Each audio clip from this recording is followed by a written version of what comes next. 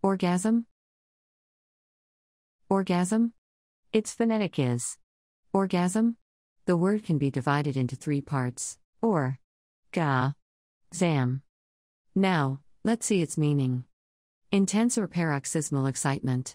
Its example is These muscles control everything from stabilizing your core and supporting your organs to having an orgasm and releasing your bowels.